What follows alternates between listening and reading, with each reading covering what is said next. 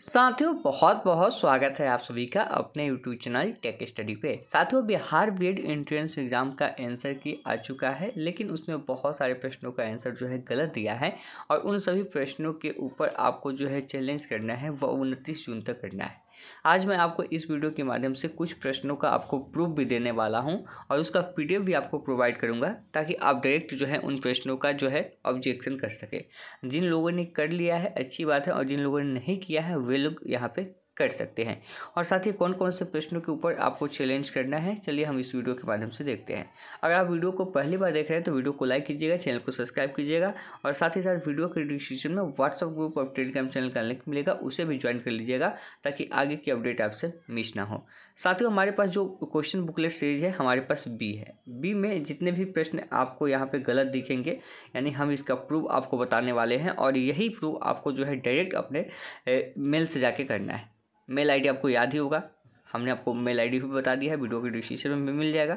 आप वहाँ से डायरेक्ट मेल आईडी पे जाएँगे, इस पीडीएफ को प्राप्त कर लेंगे। यानी हमारा जो टेलीग्राम और व्हाट्सअप ग्रुप ज्वाइन करेंगे, वहाँ पे हम इस वीडियो को शेयर कर देंगे और वहाँ पे आपको क्या करना है चलिए समझते हैं। तो जो भी प्रश्न है बुक सीरीज़ बी के अंदर, उन सभी का आपको पीडीएफ बनाना होगा। यानी कि जो आपका प्रूफ होगा, जो आपका प्रमाण होगा, क्या करना होगा, उसको आपका एक पीडीएफ बना लेना होगा। क्योंकि इस पर अशोक कुमार मेहता, जो नोडल ऑफिसर है, उन्होंने साफ़ साफ़ कहा है कि स्टूडेंट को पीडीएफ फॉर्मेट सेंड करना है डॉक्यूमेंट को।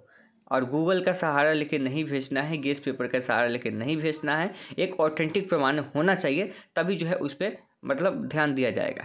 तो चलिए हम आपको बताते हैं सेट बी के अंदर, यानी जो क्वेश्चन बुकलेट सीरीज़ बी है, उसके अंदर कौन कौन से प्रश्नों का आंसर गलत है और उसका साक्ष्य क्या होगा। अगर हम बात करें तो देख सकते हैं कि objection to Bihar BEd 2024 official answer key booklet series B जो लिखा हुआ है, आपको यही करना है। यहाँ से जो पीडीएफ है, इसको डाउनलोड करना है और मेल में डायरेक्ट जाके आपको इस पीडीएफ को जो है अटैच करके और आपको शेयर करना है। देखिए, यहाँ पे देख सकते हैं क्वेश्चन नंबर एक सौ नौ की बात करें। ये आपका बी बी सीरीज़ क्या है? हालाँकि अगर सी में देखेंगे तो ये क्वेश्चन संख्या आपका एक सौ पाँच है।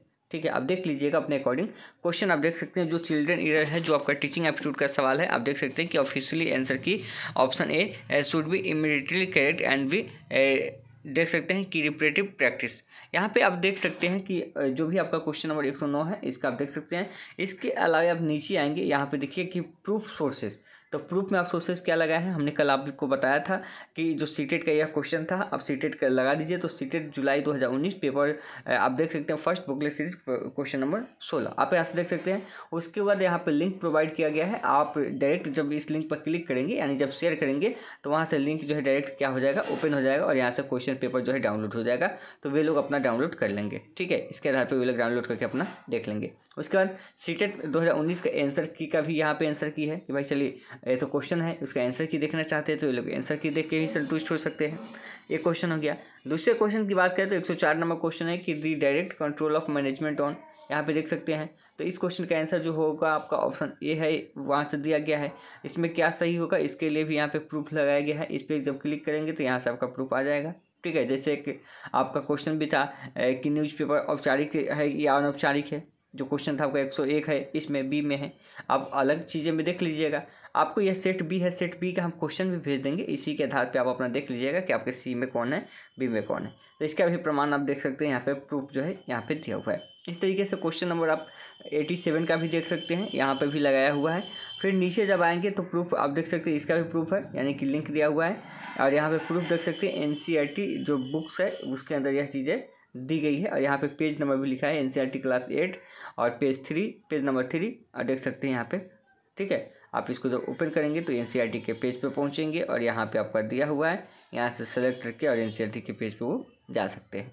इसके अलावा हम नीचे जब आएँगे तो यहाँ पे आपको दिखेगा कि बिहार सी टी बी चौबीस क्वेश्चन बुकलेट बी सी और क्वेश्चन नंबर सात। यानी कि क्वेश्चन नंबर सात के अंदर भी यहाँ पे दिक्कत है और इसमें जो यहाँ पे कॉल्ड होना चाहिए और यहाँ पे N C R T class ten chapter four page number sixty eight with the present from the main form in use यहाँ पे देखिए प्रूफ प्रूफ टू है यहाँ पे। यहाँ पे आ, अलग भी दिया हुआ है कि एक या दो प्रूफ भी दिया गया है ताकि इसके आधार पर भी लोग सही करें। उसके अलावा जब नीचे आएँगे तो प्रूफ नंबर वन की बात करें तो N class ten chapter four page number sixty one ठीक है अमंडा यहाँ पर देख सकते हैं। यहाँ पे ये चीज़ें लिखी हुई है। इसके आधार पे, ताकि उन लोगों को खोजने में दिक्कत ना हो। इसके अलावा जब आएँगे, देखिए यहाँ पे हाईलाइट भी किया गया है, यानी कि did you finish your homework जो क्वेश्चन था आपका तो ये आपका हाईलाइट भी किया गया है। इसके अलावा जब आएँगे प्रूफ नंबर टू की बात करें तो आप यहाँ पे देख सकते हैं प्रूफ नंबर टू है आपका इंग्लिश जैसे कि did plus subject plus work plus present form जो लगता है ये भी आपका हाईलाइटेड है यहाँ पे तो सेकेंड प्रूफ आपका यहाँ से ये हो गया। फिर इसके अलावा जो प्रूफ की बात करें तो यह क्वेश्चन जो आपका है ऑफिशियली आंसर इसका क्या होना चाहिए? बी दिया गया है, जबकि बी नहीं होना चाहिए। और प्रूफ क्या है कि देखिए, यही क्वेश्चन जो आपका क्वेश्चन था ना कि make haste haste lest you dot dot late और यही क्वेश्चन एल एन ने यानी कि बिहार बीएड की जो एग्ज़ाम ले रही है लेट नाइन मिथिला यूनिवर्सिटी। 2020 का प्रश्न है, या 2020 का बारह नंबर प्रश्न है। 2020 में जब एग्ज़ाम हुआ था एल ने ही एग्ज़ाम लिया था तो उस समय इस क्वेश्चन का आंसर जो बताया गया था, वो अदल बताया गया था, और इसमें आंसर की भी देख सकते हैं। तो बारह नंबर क्वेश्चन का आंसर यहाँ पे हाईलाइट किया बी होगा, ठीक है? जबकि यहाँ पे गलत बताया गया है। और यह क्वेश्चन पेपर जो है एल का ही एल ने ही एग्ज़ाम लिया था। तो ज़ाहिर सी बात है कि जब 2020 में एग्ज़ाम लिया था तो ऑप्शन अगर बी बताया है तो इस बार तो चेंज हो नहीं सकता है, क्योंकि उसी के द्वारा एग्ज़ाम लिया गया है तो उसमें चेंजिंग नहीं होगा। तो एक नंबर तो यहाँ से पक्का बढ़ने की संभावना है। कई ऐसे प्रश्न है जहाँ से आपको आंसर जो है बदलने की संभावना दिख रही है? क्वेश्चन का आंसर जो है इस बार भी आपको बदलने को देख देखिएगा और इन सभी का पीडीएफ क्या करना है, इसको आपको डाउनलोड कर लेना है और इसको डाउनलोड करने के बाद क्या है, हम तो आपको शेयर कर देंगे।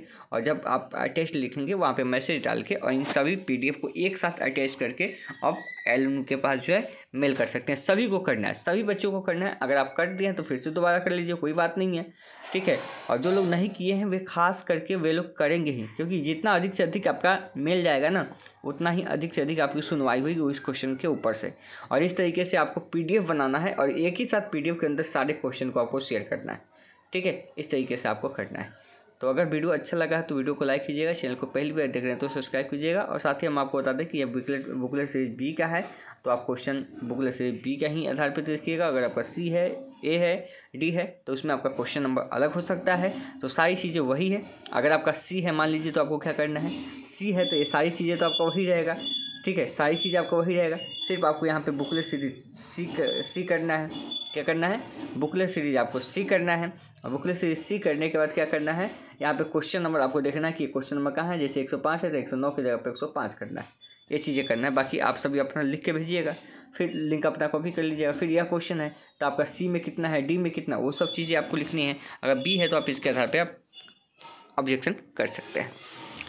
तो उम्मीद करते हैं वीडियो पसंद आई तो लाइक कीजिएगा, चैनल को सब्सक्राइब कीजिएगा। मिलते हैं नेक्स्ट वीडियो में।